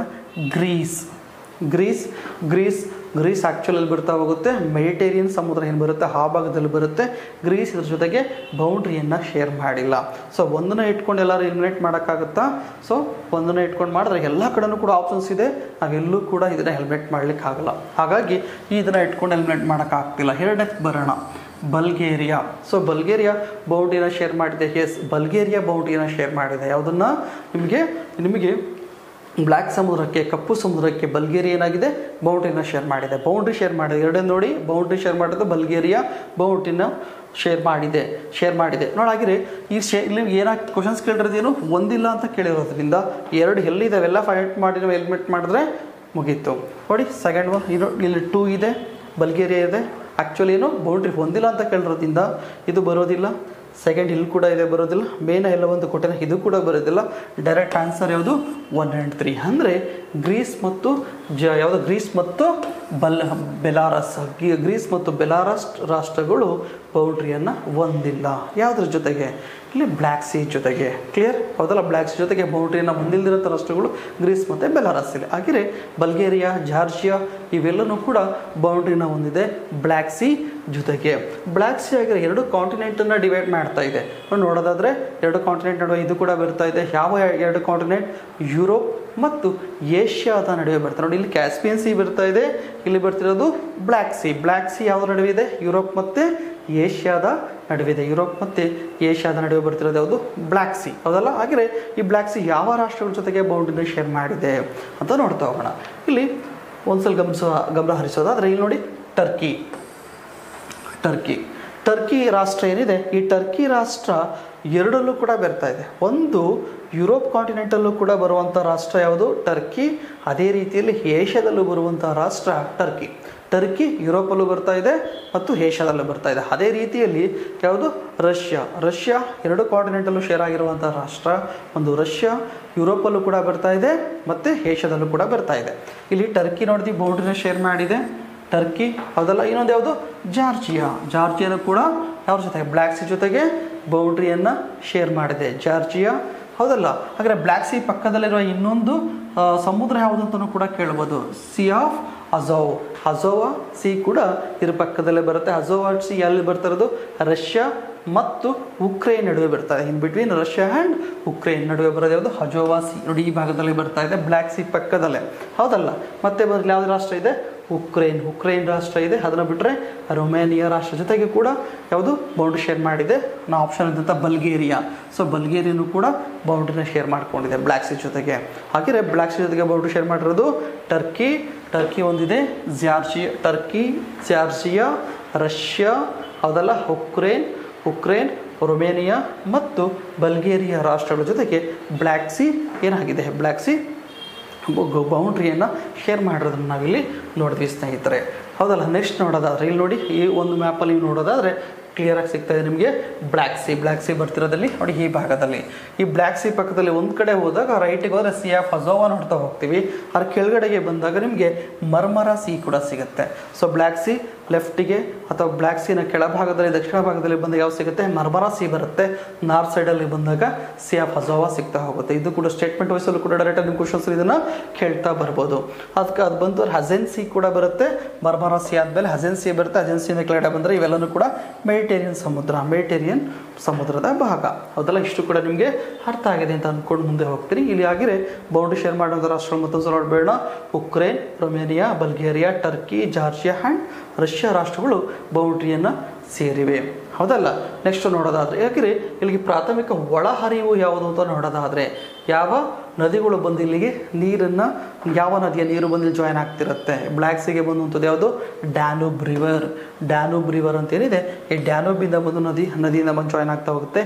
ಡಿಪ್ನರ್ ಡಿಪ್ನರ್ ಸದರನ್ಬರ್ಗ್ ಸದರನ್ಬರ್ಗ್ ಡೈನೆಸ್ಟರ್ ಸದರನ್ಬರ್ಗ್ ಡೈನೆಸ್ಟರ್ ಡೈನೆಸ್ಟರ್ ಡಾನ್ ಡಾನ್ ಬರುತ್ತೆ ಡೈನೆಸ್ಟರ್ ಬರುತ್ತೆ ಕುಬಾನ್ ಬರುತ್ತೆ ರಿಯೋನಿ ಆ್ಯಂಡ್ ಕಜಲ್ಮಾರ್ಗ್ ಕಜಲ್ಮಾರ್ಗ್ ಅನ್ನೋ ಇವೆಲ್ಲನೂ ಕೂಡ ಈ ನದಿಗೆ ಬಂದು, ಈ ಒಂದು ಸಮುದ್ರಕ್ಕೆ ಬ್ಲ್ಯಾಕ್ ಸಿಗೆ ಬಂದು ಸೇರುವಂತಹ ನೀರಿನ ನೀರನ್ನು ಕೊಡುವಂಥ ನದಿಗಳು ಇವೆಲ್ಲನೂ ಕೂಡ. ಹಾಗಿದ್ರೆ ಇಲ್ಲಿ ಔಟ್ಫ್ಲೋ ಎಲ್ಲಿಗಾಗುತ್ತೆ ಬಾಸ್ಪರಸ್ ಲೇಕ್ ಬಾಸ್ಪರಸ್ ಲೇಕ್ ಕಡೆಗೆ ಈ ಒಂದು ನೀರಿನ ಹರಿವು ಕೂಡ ಆಗ್ತಾ ಹೋಗುತ್ತೆ ಬ್ಲ್ಯಾಕ್ ಸಿಯಿಂದ ಹೌದಲ್ಲ? ಇಷ್ಟು ಕೂಡ ಈ ಬ್ಲ್ಯಾಕ್ ಸಿಗೆ ಸಂಬಂಧಪಟ್ಟಿದ್ದು. ನೆಕ್ಸ್ಟ್ ನೋಡೋಣ ಮೆಡಿಟೇರಿಯನ್ ಸಿ ಮೆಡಿಟೇರಿಯನ್ ಸಮುದ್ರ, ಸುಮಾರು ಎಕ್ಸಾಮಲ್ಲಿ ಕ್ವಶನ್ಸ್ ಕೇಳಿದ್ದಾನೆ. ಈ ಮೆಡಿಟೇರಿಯನ್ ಸಮುದ್ರದ ಮೇಲೆ ಒಂದು ಯಾವ ಥರ ಕ್ವಶನ್ಸ್ ಬರ್ತಾ ಹೋಗುತ್ತೆ? ಮೆಡಿಟೇರಿಯನ್ ಸಮುದ್ರ ಯಾವ ಕಾಂಟಿನೆಂಟ್ ನಡುವೆ ಬರ್ತಾ ಇದೆ ಅಂದರೆ, ಈ ಮೆಡಿಟೇರಿಯನ್ ಸಮುದ್ರ ಬರ್ತಿರೋದು ಮೂರು ಕಾಂಟಿನೆಂಟ್ ನಡುವೆ ಬರ್ತಾ ಇದೆ. ಒಂದು ಕಡೆಗೆ ಏಷ್ಯಾ ಬರುತ್ತೆ ಇದು ಇದು ಮೆಡಿಟೇರಿಯನ್ ಸಮುದ್ರ ಒಂದು ಕಡೆ ಏಷ್ಯಾ ಬರ್ತಾ ಇರುತ್ತೆ, ಒಂದು ಕಡೆಗೆ ಆಫ್ರಿಕಾ ಬರ್ತಾ ಇರುತ್ತೆ, ಒಂದು ಕಡೆಗೆ ಯುರೋಪ್ ಹೌದಲ್ಲ? ಯುರೋಪ್ ಏಷ್ಯಾ ಆಫ್ರಿಕಾದ ನಡುವೆ ಬರೋದು ಯಾವುದು? ಮೆಡಿಟೇರಿಯನ್ ಸಮುದ್ರ. ನೀವು ಆ್ಯಕ್ಚುಲಿ ಎಕ್ಸಾಮಲ್ಲಿ ಕೂಡ ಟೆಕ್ಸ್ಟ್ ಬುಕ್ ಓದಬೇಕಾದ್ರೂ ಕೂಡ ಗೊತ್ತಿರುತ್ತೆ. ಮೆಡಿಟೇರಿಯನ್ ಕ್ಲೈಮೇಟ್ ಕಂಡೀಷನ್ ಅಂತಲೇ ಓದ್ತಾ ಹೋಗ್ತೀವಿ ನಾವು. ಹೌದಲ್ಲ? ಓಕೆ? ಇಲ್ಲಿ ಈ ಮೇಟೀರಿಯಲ್ ಸಮುದ್ರದಲ್ಲಿ ಯಾವ ಥರ ಕ್ವಶನ್ಸ್ ಆಗಿದೆ ನೋಡ್ತಾ ಹೋಗೋಣ. ಇದು ಸ್ಟ್ರಾಂಬೋಲಿ ಜಾಗೃತ ಜ್ವಾಲಾಮುಖಿ ಕೆಳಗಿನ ಯಾವ ಸಮುದ್ರದಲ್ಲಿ ಇದೆ? ಆಲ್ರೆಡಿ ಇದು ಕ್ವಶನ್ಸ್ ಕೂಡ ಆಗಿದೆ. ಹೌದಲ್ಲ? ಇದು ಡೈರೆಕ್ಟಾಗಿ ಆನ್ಸರ್ ಹೋಗ್ಬೇಡ ಇಲ್ಲಿ. ಯಾವ್ದು ಬರ್ತಾ ಇದೆ ಇಲ್ಲಿ? ಮೆಡಿಟೇರಿಯನ್ ಸಮುದ್ರ. ಹೌದಲ್ಲ? ಇಲ್ಲಿ ಕೆಂಪು ಸಮುದ್ರ ಹಾರೆಲ್ಸಿ ಮತ್ತು ಮೇಲಿನ ಯಾವುದೋ ಅಂತ ಆಪ್ಷನ್ಸನ್ನು ಕೊಟ್ಟಿದ್ವಿ ಡೈರೆಕ್ಟ್ ಆನ್ಸರ್ ಯಾವುದು? ಮೆಡಿಟೇರಿಯನ್ ಸಮುದ್ರದಲ್ಲಿ ಸ್ಟ್ರಾಂಬೋಲಿ ಬರುತ್ತೆ. ಯಾಕಂದರೆ ಸ್ಟ್ರಾಂಬೋಲಿ ಅನ್ನೋದು ಒಂದು ಆಕ್ಟಿವ್ ವಾಲ್ಕೆನೋ ಈ ಆಕ್ಟಿವ್ ವಾಲ್ಕೆನೋ ಯಾವ ಸಮುದ್ರದಲ್ಲಿ ಇದೆ ಅಂತ ಕೇಳಿದ್ರೆ ಮೆಡಿಟೇರಿಯನ್ ಸಮುದ್ರ. ಮೆಡಿಟೇರಿಯನ್ ಸಮುದ್ರ ಬರುವಂಥದ್ದು ಯಾವುದು? ಇದು ಸ್ಟ್ಯಾಂಬೋಲಿ ಆಕ್ಟಿವ್ ವಾಲ್ಕೆನೋ ಜಾಗೃತ ಜ್ವಾಲಾಮುಖಿ. ಹಾಗೆ ಇಲ್ಲಿ ಮೆಡಿಟೇರಿಯನ್ ಲೊಕೇಶನ್ ನೋಡ್ಬಿಡಿ. ಒಂದು ಕಡೆಗೆ ಯಾವ್ದು ಬರ್ತಿದೆ? ಸಿರಿಯಾ ಇವೆಲ್ಲ ಏನು ಬರ್ತದೆ? ಇವೆಲ್ಲನೂ ಕೂಡ ಏಷ್ಯಾದ ಪಾರ್ಟ್ ಟರ್ಕಿ ಅದಲ್ಲ ಹಾಗೆ ಏಷ್ಯಾ ಜೊತೆ ಬೌಂಡ್ರಿನ ಹೊಂದಿದೆ ಅಂತ ಗೊತ್ತಾಗ್ತಿತ್ತು. ಅದೆಲ್ಲ ಇಲ್ಲಿ ಬಂದಾಗ ಇವೆಲ್ಲನೂ ಕೂಡ ಯುರೋಪ್ ಕಂಟ್ರೀಸ್ಗಳು ಅಂದರೆ ಯುರೋಪಿಯನ್ ಕಾಂಟಿನೆಂಟಲ್ಲಿ ಇರುವಂತಹ ರಾಷ್ಟ್ರಗಳ ಜೊತೆ ಬಂದ್ಬಿಟ್ಟು ಶೇರ್ ಮಾಡಿದೆ. ಜೊತೆಗೆ ಇವರು ಕೂಡ ಆಫ್ರಿಕನ್ ಕಂಟ್ರೀಸ್ ಆಫ್ರಿಕಾ ಜೊತೆಗೆ ಇರುವಂಥ ರಾಷ್ಟ್ರಗಳ ಜೊತೆಗೆ ಬೌಂಡ್ರಿನ ಶೇರ್ ಮಾಡಿದೆ. ಮೆಡಿಟೇರಿಯನ್ ಸಮುದ್ರ. ಸಿ ಮೆಡಿಟೇರಿಯನ್ ಸಮುದ್ರ, ಇಲ್ಲಿ ಇಟಲಿ ಏನು ಬರುತ್ತೋ, ಈ ಇಟಲಿಯ ಭಾಗ. ಸೊ ಇಟಲಿಯ ಭಾಗ, ಈ ಇಟಲಿ ಭಾಗ ನೋಡಿ ಒಂದು ಐಲ್ಯಾಂಡ್ ರೀತಿಯಲ್ಲಿ ಕಾಣ್ತಾ ಇದೆ. ಇಟಲಿಯಲ್ಲಿ ಬರ್ತಾ ಇದೆ ಆಗಿದ್ರೆ ಗ್ರೀಸ್ ಆಗ್ಬೋದು, ಇಟಲಿ ಆಗ್ಬೋದು ಇವೆಲ್ಲೂ ಕೂಡ ಮೆಡಿಟೇರಿಯನ್ ಸಮುದ್ರದಲ್ಲಿ ಬರುವಂತಹ ರಾಷ್ಟ್ರಗಳು. ಮೆಡಿಟೇರಿಯನ್ ಸಮುದ್ರದಲ್ಲಿ ಬರುವಂತಹ ರಾಷ್ಟ್ರಗಳು. ಬೌಂಡ್ರಿಯ ನೋಡೋದು ನೋಡಿ, ಸ್ಪೇನ್ ಜೊತೆ ಬೌಂಡ್ರಿ ಶೇರ್ ಮಾಡಿದ್ದೆ, ಫ್ರಾನ್ಸ್ ಜೊತೆ ಬೌಂಡ್ರಿ ಇಟಲಿ ಆಗ್ಬೋದು, ಗ್ರೀಸ್ ಆಗ್ಬೋದು, ಟರ್ಕಿ, ಸಿರಿಯಾ, ಹೌದಲ್ಲ? ಮತ್ತೆ ಇಲ್ಲಿ ಬಂದ ಈಜಿಪ್ಟ್, ಲಿಬಿಯಾ ಆ, ಟ್ಯುನೀಷಿಯಾ ಅಲ್ಜೀರಿಯಾ ಮೊರಾಕೋ ರಾಷ್ಟ್ರಗಳ ಜೊತೆಗೆ ಬೌಂಡ್ರಿನ ಶೇರ್ ಮಾಡಿದ್ವಿ. ಇದಲ್ಲದೆ ಅಧಿಕವಾದ ರಾಷ್ಟ್ರಗಳ ಜೊತೆಗೆ ಸಣ್ಣಪುಟ್ಟ ರಾಷ್ಟ್ರಗಳ ಜೊತೆಗೆ ಇದೇನು ಮಾಡಿದೆ ಬೌಂಡ್ರಿನ ಶೇರ್ ಮಾಡಿದೆ ಯಾವುದು? ಮೆಡಿಟೇರಿಯನ್ ಸಮುದ್ರ. ಹಾಗೆ ಈ ಮೆಡಿಟೇರಿಯನ್ ಸಮುದ್ರ ಹೊಂದಿರುವಂಥ ಬೌಂಡ್ರಿನ ಹೊಂದಿರುವಂಥ ರಾಷ್ಟ್ರಗಳನ್ನು ಮತ್ತೊಂದು ಸಲ ನೋಡಬೇಡ. ಅಲ್ಬೇನಿಯಾ ಅಲ್ಬೇನಿಯಾ ಅಲ್ಜೀರಿಯಾ ಬೋಸ್ನಿಯಾ ಮತ್ತು ಹರ್ಜರ್ ಗೋವಾವಿನಿಯಾ ಮತ್ತು ಯಾವುದು? Croatia Cyprus Egypt France France Greece Israel Italy, Lebanon, Libya, Malta, ಲಿಬ ಲಿಬ ಲಿಬಿಯಾ ಬಗ್ಗೆ ಗೊತ್ತಿರಬೇಕು ನಿಮಗೆ. Malta Morocco Monaco Monaco Montenegro Montenegro, Slovenia, Spain, Syria, Tunisia and Turkey. ಇಷ್ಟು ರಾಷ್ಟ್ರಗಳ ಜೊತೆ ಬೌಂಡ್ರಿಯನ್ನು ಶೇರ್ ಮಾಡಿದೆ. ಯಾವುದು? ನಿಮ್ಮ ಮೇಡಿನ ಸಮುದ್ರ. ಹಾಗಿದ್ರೆ ಈ location ನೋಡ್ಬೇಡ Stromboli Stromboli Stromboli volcano active volcano ಇಲ್ಲಿ ಬರ್ತಾ ಇದೆ. ನೋಡಿ ಸ್ಟ್ಯಾಂಬೋರಿ ಆಕ್ಟಿವ್ ವಾಲ್ಕಿನೋ ಇಲ್ಲಿ ಬರ್ತಾ ಇದೆ. ಯಾವ ರಾಷ್ಟ್ರದಲ್ಲಿ ಇಟಲಿ ರಾಷ್ಟ್ರಕ್ಕೆ ಸೇರಿದ್ದು? ಹಾಗೆ ಸ್ಟ್ಯಾಂಬೋಲಿ ಆಕ್ಟಿವ್ ವಾಲ್ಕೆನೋ ಯಾವ ರಾಷ್ಟ್ರದಲ್ಲಿ ಬರ್ತಾ ಇದೆ? ಇಟಲಿ ರಾಷ್ಟ್ರದಲ್ಲಿ, ಇಟಲಿ ರಾಷ್ಟ್ರದ ಪಕ್ಕದಲ್ಲಿಯೇ ಸ್ಟ್ಯಾಂಬೋಲಿ ವಾಲ್ಕೆನೋ ಬರ್ತಿರೋದು ಸ್ಟ್ಯಾಂಬೋಲಿ ಒಂದು ಆಕ್ಟಿವ್ ವಾಲ್ಕೆನೋ. ಹೌದಲ್ಲ? ಜಾಗೃತ ಜ್ವಾಲಾಮುಖಿ. ನೆಕ್ಸ್ಟ್ ನೋಡೋದ್ರೆ ಹರಲ್ಸಿ. ಹರಲ್ಸಿ ಬಗ್ಗೆ ಕೂಡ ಕ್ವಶನ್ಸ್ ಆಗ್ಬೋದು. ಹರಲ್ಸಿ ಬಗ್ಗೆ ಕ್ವಶನ್ಸ್ ಆಗುತ್ತೆ? ಹರಲ್ಸಿ ಕೆಳಗಿನ, ಅದು ನೋಡಿ ಹರಲ್ ಸಮುದ್ರ ಕೆಳಗಿನ ಯಾವ ರಾಷ್ಟ್ರಗಳ ನಡುವೆ ಇದೆ? ಸೊ ಈ ಅರಲ್ ಸಿ ಕೂಡ ಬರ್ತಿರೋದು ನಿಮ್ಮ ಕ್ಯಾಸ್ಪಿಯನ್ ಸಿ ಅಂತ ಏನು ಮಾತಾಡ್ತಿದೆ ಕ್ಯಾಸ್ಪಿಯನ್ ಸಿನ ಮೇಲ್ಭಾಗದಲ್ಲಿ ಬರ್ತಾ ಹೋಗುತ್ತೆ. ಈ ಅರಲ್ ಸಿ ಕೂಡ, ಇಲ್ಲಿ ಡೈರೆಕ್ಟಾಗಿ ಕ್ವಶನ್ಸ್ ಕೊಟ್ಟಿದ್ದಾರೆ ನೋಡಿ ಏನಂತ. ಅರಲ್ ಸಮುದ್ರವು ಕೆಳಗಿನ ಯಾವ ರಾಷ್ಟ್ರಗಳ ನಡುವೆ ಇದೆ? ಕಾಂಟಿನೆಂಟಲ್ ಹಾಗೆ ಮೊದಲದಾಗಿ ಯಾವ ಕಾಂಟಿನೆಂಟಲ್ ಬರುತ್ತೆ ಅಂತ ಹೇಳೋದಾದ್ರೆ ಏಷ್ಯಾ ಕಾಂಟಿನೆಂಟಲ್ಲಿ ಬರುತ್ತೆ. ಹರಲ್ ಸಿ ಏಷ್ಯಾ ಕಾಂಟಿನೆಂಟಲ್ ಬರುವಂಥದ್ದು ಹರಲ್ ಸಿ ಜೊತೆಗೆ ಯಾವ ರಾಷ್ಟ್ರಗಳು? ಸೊ ಇಲ್ಲಿ ಕಜಕಿಸ್ತಾನ್ ಅನ್ನೋದು ನೋಡಿ ಸಾಮಾನ್ಯವಾಗಿ ಮೂರಲ್ಲೂ ಕೂಡ ಕಾಮನ್ ಆಗಿರುತ್ತೆ. ಹೌದಲ್ಲ, ಮೂರಲ್ಲೂ ಕೂಡ ಕಜಕಿಸ್ತಾನ್ ಕಜಕಿಸ್ತಾನ್ ಕಜಕಿಸ್ತಾನ್ ಲಾಸ್ಟಲ್ಲಿ ತುರ್ಕ್ಮೆನಿಸ್ತಾನ್ ಆ್ಯಂಡ್ ಉಜ್ಬೇಕಿಸ್ತಾನ್ ಅಂತ ಹಾಕೊಂಡಿದ್ದೀವಿ. ಈ ಮೊದಲ ಆಪ್ಷನ್ ನೋಡೋಣ. Kazakhstan and Uzbekistan. ಕರೆಕ್ಟ್ ಇದು. ಕಜಕಿಸ್ತಾನ್ ಮತ್ತು ಉಜ್ಬೇಕಿಸ್ತಾನದ ನಡುವೆ ಬರ್ತಿರೋದು ಯಾವುದು? ಯಾವುದು Aral sea Aral sea Kazakhstan ಮತ್ತು ಉಜ್ಬೇಕಿಸ್ತಾನ್ ನಡುವೆ ಬರ್ತಾ ಇದೆ. ಕಜಕಿಸ್ತಾನ್ ಮತ್ತು ರಷ್ಯಾ ಜೊತೆನೂ ಕೂಡ ಇಲ್ಲ. ಕಜಕಿಸ್ತಾನ್ ಮತ್ತು ಚೀನಾ ಜೊತೆನೂ ಕೂಡ ಇಲ್ಲ. ತುರ್ಕ್ಮೆನಿಸ್ತಾನ್ ಮತ್ತು ಉಜ್ಬೇಕಿಸ್ತಾನ್ ಜೊತೆನೂ ಕೂಡ ಇಲ್ಲ. ಅದಲ್ಲ ಕಜಕಿಸ್ತಾನ ಉಜ್ಬೇಕಿಸ್ತಾನ್ ನಡುವೆ ಬರುವಂಥದ್ದು ಹರಲ್ಸಿ. ಅದನ್ನ ಮ್ಯಾಪ್ ನೋಡ್ಬೇಡ ಇಲ್ಲಿ. ಇಲ್ಲಿ ಹರಲ್ಸಿ ಎಲ್ಲಿ ಬರ್ತಾ ಇದೆ? ನೋಡಿ ಕ್ಯಾಸ್ಪಿಯನ್ ಸಮುದ್ರದ ಈಸ್ಟಿಗೆ ಕ್ಯಾಸ್ಪಿಯನ್ ಸಮುದ್ರದಿಂದ ಪೂರ್ವ ಭಾಗದಲ್ಲಿ ಬರ್ತಾ ಇದೆ ಯಾವುದರಲ್ಲಿ? ಕಜಕಿಸ್ತಾನ್ ಮತ್ತು ಉಜ್ಬೇಕಿಸ್ತಾನಿನ ನಡುವೆಯಲ್ಲಿ ಬರ್ತಾ ಇದೆ. ಅಜಕಿಸ್ತಾನ್ ಮತ್ತು ಉಜ್ಬೇಕಿಸ್ತಾನ ನಡುವೆ ಬರ್ತಿರೋದು ಯಾವುದು? Aral C. ಸೊ ಇದು ಕೂಡ ಎಕ್ಸಾಂಪಲ್ ಕ್ವಶನ್ಸ್ ಕೇಳುವ ಸಾಧ್ಯತೆ ಇದೆ. ವರ್ಲ್ಡ್ ಮ್ಯಾಪ್ನ ನೋಡೋದಾದ್ರೆ ನಿಮಗೆ ಬಟ್ ಈ ಭಾಗದಲ್ಲಿ ಬರೋದು ಯಾವುದು? Aral C. ಹರಲ್ ಸಿ ಈ ಭಾಗದಲ್ಲಿ ಬರ್ತಾ ಹೋಗುತ್ತೆ ನಿಮಗೆ. ನೆಕ್ಸ್ಟ್ ನೋಡ್ತಾ ಹೋಗೋಣ. ಹರಲ್ ಅಂದರೆ ಏನು? ದ್ವೀಪಗಳ ಸಮೂಹ. ಅಂದರೆ ಈ ಹರಲ್ ಹರಲ್ ಅಂತ ಯಾವ ಮೀನಿಂಗ್ನ ಕೊಡ್ತಾ ಹೋಗುತ್ತೆ ಇದನ್ನು? ಹರಲ್ ಅಂತ ಹೇಳೋದು ದ್ವೀಪಗಳ ಸಮೂಹ. ಅಂದರೆ ಇಲ್ಲಿ ಸಾವಿರದ ನೂರಕ್ಕೂ ಹೆಚ್ಚು ದ್ವೀಪಗಳನ್ನು, ದ್ವೀಪದ ದ್ವೀಪಗಳನ್ನು ಹೈಲ್ಯಾಂಡ್ಗಳನ್ನು ಹೊಂದಿದೆ. ಸಾವಿರದ ನೂರ, ನೂರಕ್ಕೂ ಅಧಿಕವಾದಂಥ ಹೈಲ್ಯಾಂಡ್ಸ್ಗಳನ್ನು ಹೊಂದಿದೆ ಇದು. ಯಾವುದದು? ಹರಲ್ ಸಿಯಲ್ಲಿ ಹೌದಲ್ಲ? ಹಾಗಾಗಿ ಇದ್ರ ಏನು ಅರ್ಥವನ್ನು ಕೊಡ್ತಾ ಇರಲ್ಲ ಅಂದರೆ ದ್ವೀಪಗಳ ಸಮೂಹ ಅಂತ. ಆರು ಯಾವ ಭಾಷೆಯಲ್ಲಿದೆ ಹರಲ್ ಅನ್ನೋದು? ತುರ್ಕಿ ಸಾ ಭಾಷೆಯಲ್ಲಿರುವಂಥ ತುರ್ಕಿ ಭಾಷೆಯಲ್ಲಿರುವಂಥದ್ದು ಯಾವುದು? ಹರಲ್ ಅನ್ನೋ ಪದ. ಇನ್ನು South China sea, South China ಸಮುದ್ರ. ಸೌತ್ ಚೀನಾ ಸಮುದ್ರ ಇಲ್ಲೂ ಕೂಡ ಎಕ್ಸಾಮ್ ಕ್ವಶನ್ಸ್ ಕೇಳ್ಬೋದು. ಯಾವ ರೀತಿಯಲ್ಲಿ?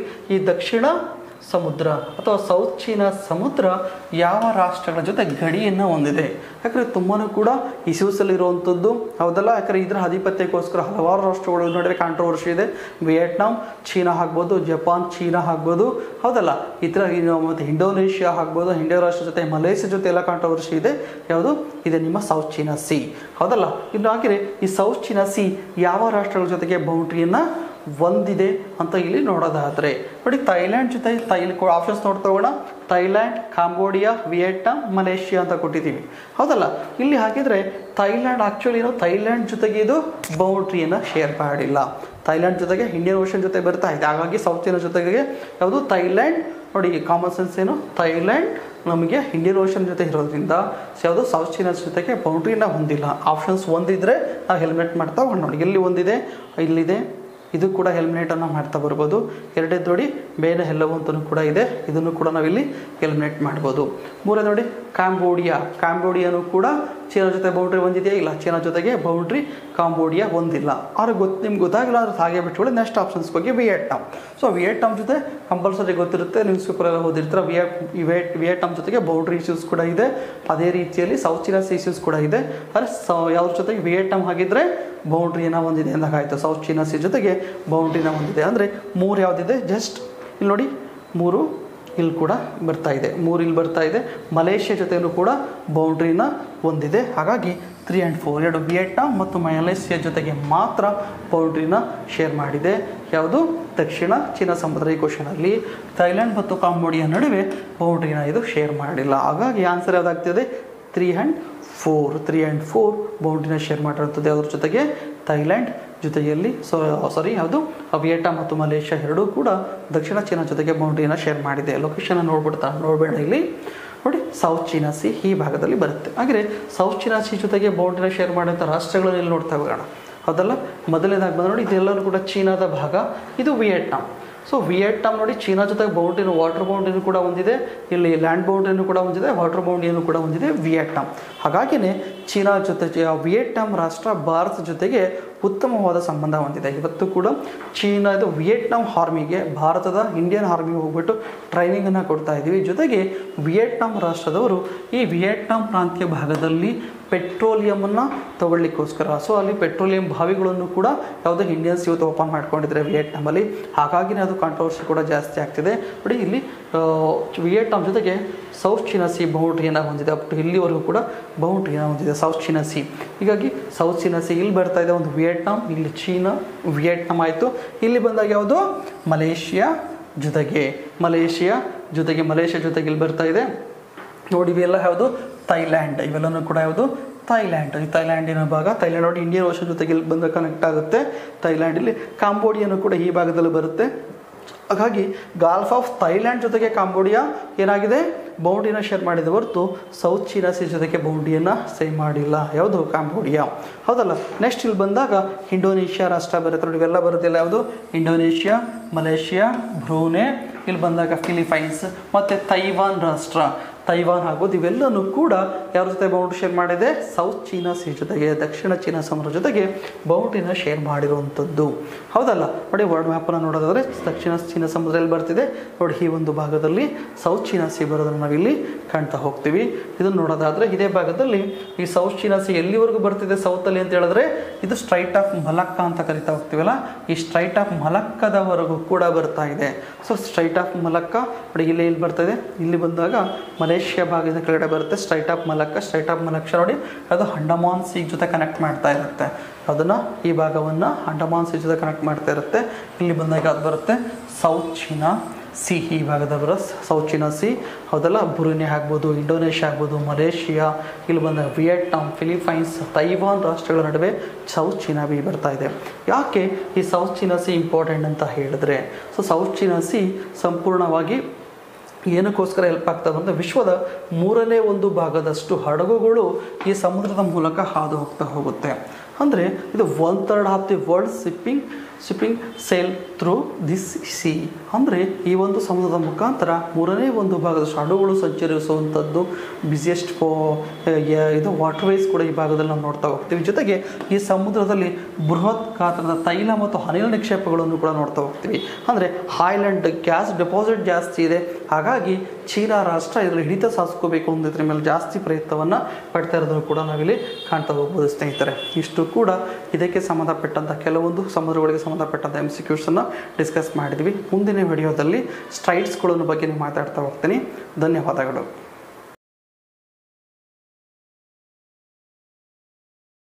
ಎಲ್ಲ ಸ್ಪರ್ಧಾರ್ಥಿಗಳಿಗೂ ನಮಸ್ಕಾರ. ಜ್ಞಾನಗಂಗೋತ್ರಿ ಸಂಸ್ಥೆಯಿಂದ ಈಗಾಗಲೇ ಆನ್ಲೈನ್ ಮುಖಾಂತರ ಕೆ ಪಿ ಎಸ್ ಸಿ ಪರೀಕ್ಷೆಗಳಿಗೆ ಮತ್ತು ಪೊಲೀಸ್ ಸಬ್ ಇನ್ಸ್ಪೆಕ್ಟರ್ ಪರೀಕ್ಷೆಗಳಿಗೆ ತರಗತಿಗಳನ್ನು ಶುರು ಮಾಡಲಾಗಿದೆ. ಇದರ ಸಲುವಾಗಿ ನಾವು ಏಳು ದಿನಗಳ ಸಂಪೂರ್ಣ ಉಚಿತ ತರಗತಿಗಳನ್ನು ನಿಮಗೆ ನೀಡ್ತಾ ಇದ್ದೇವೆ. ಸೊ ಈ ಏಳು ದಿನಗಳ ಉಚಿತ ತರಗತಿಗಳನ್ನು ನೀವು ಹೇಗೆ ನೋಡ್ಬೋದು ಅನ್ನೋದ್ರ ಬಗ್ಗೆ ನಾನು ಈ ವಿಡಿಯೋ ಮುಖಾಂತರ ತಿಳಿಸ್ಕೊಡ್ತೀನಿ. ಸೊ ಫಸ್ಟ್ ನೀವೇನು ಮಾಡಬೇಕಂದ್ರೆ ಪ್ಲೇಸ್ಟೋರಿಗೆ ಬರಬೇಕು. ಪ್ಲೇಸ್ಟೋರಲ್ಲಿ ನೀವು ಜೆ ಜಿ ಎಪಸ್ಟ್ರೋಪ್ ಎಸ್ ಅಂತ ಟೈಪ್ ಮಾಡಿದ ಕೂಡಲೇ ನಿಮಗೆ ಸಜೆಷನ್ಸಲ್ಲೇ ಬಂದ್ಬಿಡುತ್ತೆ. ಜೆ ಜಿಸ್ ಆನ್ಲೈನ್ ಕ್ಲಾಸಸ್ ಅಂತ. ನೀವು ಅದನ್ನು ಕ್ಲಿಕ್ ಮಾಡಿದ್ರೆ ಇನ್ಸ್ ಅದಾದಮೇಲೆ ಗ್ರೀನ್ ಕಲರ್ ಮೇಲೆ ಇನ್ಸ್ಟಾಲ್ ಬಟನ್ ಕ್ಲಿಕ್ ಮಾಡಿದ್ರೆ ನಿಮಗೆ ಡೌನ್ಲೋಡ್ ಸ್ಟಾರ್ಟ್ ಆಗುತ್ತೆ. ಸೊ ಡೌನ್ಲೋಡ್ ಸ್ಟಾರ್ಟ್ ಆದಮೇಲೆ ಅಥವಾ ಡೌನ್ಲೋಡ್ ಆದಮೇಲೆ ನಾನು ಮುಂದೆ ಹೇಳ್ತಕ್ಕಂಥ ಪ್ರೊಸೀಜರ್ನ ನೀವು ಫಾಲೋ ಮಾಡಬೇಕಾಗುತ್ತೆ. ಇಲ್ಲಿ ಕೊಟ್ಟಿರ್ತಕ್ಕಂಥ ಕಾಂಪೊನೆಂಟ್ಸ್ನ ಫಿಲ್ ಮಾಡಿ. ಸೊ ನಿಮ್ಮ ಹೆಸರು, ಅದಾದಮೇಲೆ ನಿಮ್ಮ ಇಮೇಲ್ ಐ ಡಿ ಅದಾದಮೇಲೆ ನೀವೊಂದು ಪಾಸ್ವರ್ಡ್ನ ಹಾಕಬೇಕಾಗತ್ತೆ. ಸೊ ನೀವು ಇಲ್ಲಿ ಕೊಡೋ ಪಾಸ್ವರ್ಡ್ ನಿಮ್ಮ ಇಮೇಲ್ ಪಾಸ್ವರ್ಡೇ ಆಗಿರಬೇಕಂತ ಏನೂ ಇಲ್ಲ. ಸೊ ನೀವು ಯಾವುದಾದ್ರೂ ಪಾಸ್ವರ್ಡ್ನ ಕೊಡ್ಬೋದು. ಅದಾದಮೇಲೆ ನಿಮ್ಮ ಮೊಬೈಲ್ ಸಂಖ್ಯೆಯನ್ನು ಕೊಡಿ, ಅದಾದಮೇಲೆ ಸೈನಪ್ ಅಂತ ಮಾಡ್ಕೊಳ್ಳಿ. ಸೈನಪ್ ಅಂತ ಮಾಡ್ಕೊಂಡಿದ್ದು ಆದಮೇಲೆ ನಿಮಗಿಲ್ಲಿ ಜ್ಞಾನಗಂಗೋತ್ರಿ ಅಪ್ಲಿಕೇಶನಲ್ಲಿರ್ತಕ್ಕಂಥ ಎಲ್ಲ ಕೋರ್ಸ್ಗಳ ಲಿಸ್ಟ್ ಓಪನ್ ಆಗುತ್ತೆ. ಇಲ್ಲಿ ಸೆಕೆಂಡ್ ಎಲ್ಲೋ ಕಲರ್ ಇದೆಯಲ್ವಾ ಫ್ರೀ ಟ್ರಯಲ್ ಪ್ಯಾಕ್ ಅಂತ ಇರುತ್ತೆ.